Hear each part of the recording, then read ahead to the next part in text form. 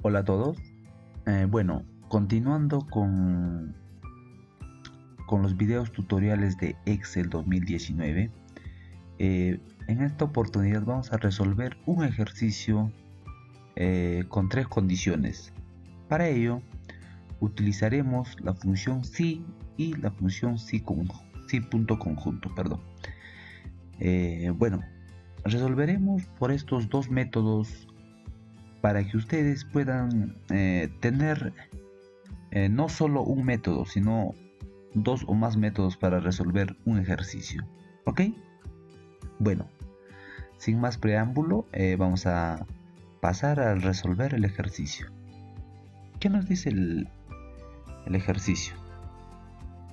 ¿O qué nos muestra? Aquí tenemos, nos da un cuadro de notas donde que tenemos los datos de los alumnos, tenemos su calificación final y lo que nos pide es el porcentaje de beca. Y en la parte superior tenemos eh, tres condiciones. ¿Qué nos dice la primera condición? Nos dice, si la calificación final está entre 16 y 20, obtiene un 80% de beca.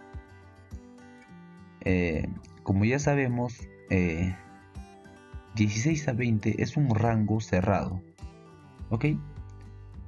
Y la segunda condición nos dice, si la calificación final está entre 13 y 15, obtiene un 60% de beca. Este también es un rango cerrado que toma los datos desde 13 hasta 15. Y la tercera y última condición nos dice, si la calificación final es menor que 13, no se otorga beca. Esto es, una, es un rango cerrado eh, que va de menos infinito hacia 12 hasta el 12.99. No lo toma 13. ¿Ok? Para resolver estos tipos de ejercicios, eh, yo les recomiendo ordenar eh, dichos rangos en una línea de tiempo como yo, le yo, lo, yo lo hice, pero ordenar de forma eh, ascendente, de menor a mayor. ¿Ok? Eso les le recomiendo para que les facilite la operación y para que Excel eh, entienda qué es lo que le estamos pidiendo. ¿Ok? ¿Y para qué resolvemos en una línea de tiempo lo ponemos en una línea de tiempo? Es para lo siguiente. Les voy a explicar brevemente. Por ejemplo, tomamos este dato, que es la calificación final de 18. Eh, lo que Excel nos lo que, lo que Excel entiende es lo siguiente 18 está en este rango menor a 13 la respuesta es falso y lo que Excel hace automáticamente se pasa a la otra, al otro rango, a la otra condición, que es el rango de 13 a 15. Y cuando está ubicado en ese rango, Excel eh, reconoce de la parte del número mayor de ese rango. Aquí el número mayor de 13 a 15 es 15. Entonces Excel va a buscar desde 15 cerrado hacia números inferiores hacia dicho número. Puede tomar 15, 14 o 13. Ya no lo ya no, ya no busca en esto, porque ya buscó y no lo encontró. Una vez que Excel busca y no lo encuentra este dato, Excel se pasa al siguiente, al siguiente rango, que es de 16 a 20. Y hace lo mismo, busca el número mayor del rango, que en este caso es 20, y busca desde 20 hacia eh, los datos inferiores a 20, que es 20, 19, 18, 17, 16. Ya no busca en esta parte porque Excel ya buscó y no lo encontró. Ok, explico esto brevemente porque eh, cuando usamos en la función si, en la función si conjunto y en la función si, para que ustedes lo puedan entender y no se compliquen y no tengan muchas dudas. ¿Ok? Una vez explicado eso, vamos a resolver el ejercicio. Bueno, nos ubicamos en la celda D16.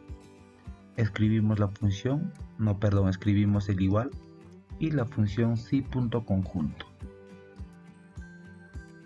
Ok, aquí nos pide la prueba lógica 1. Aquí tenemos tres pruebas lógicas que vamos a hacer. Esta sería una prueba lógica, la siguiente prueba lógica y la tercera prueba lógica. Primero aquí nos pide la prueba lógica 1.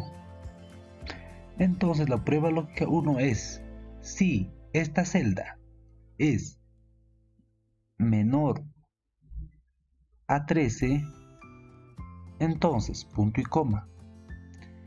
Si, este, si esta prueba lógica es menor que 13, entonces, si es verdadero, no se otorga beca, 0%.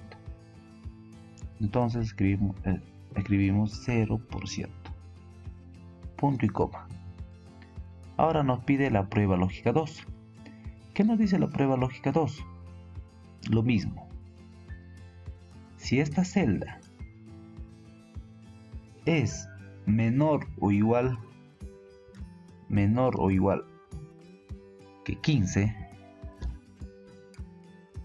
entonces pongo menor o igual que 15 porque Excel va a tomar desde el número mayor del rango digamos desde 15 cerrado hacia atrás me dejo entender por eso pongo de las eh, si esta celda es menor o igual que 15 entonces punto y coma, el valor si es verdadero. Si está entre 3 y 15, entonces obtiene un 60% de beca.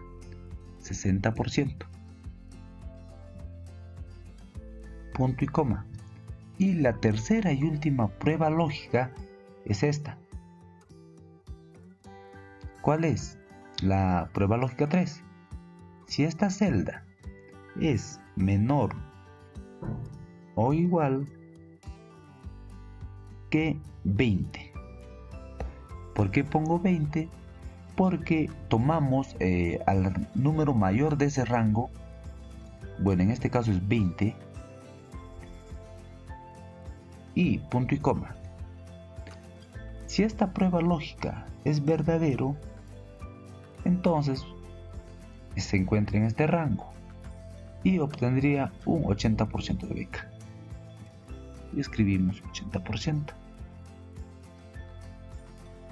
Esas serían las tres condiciones que nos dio y al no haber más condiciones cerramos paréntesis y enter. Y como vieron nos salió 80% y lo corroboramos. La calificación de 18, eh, ¿en qué rango se ubica? 18 se ubica en el rango de 16 a 20. Entonces recibe un, obtiene un 80% de beca. Eh, si queremos lo cambiamos de número, digamos, lo ponemos la calificación de 12 y nos pone 0%, porque 12 se encuentra en este rango. Ponemos 15. 15. y 60%, porque eh, esta calificación se encuentra en este rango. Ok, ese es con la función si conjunto.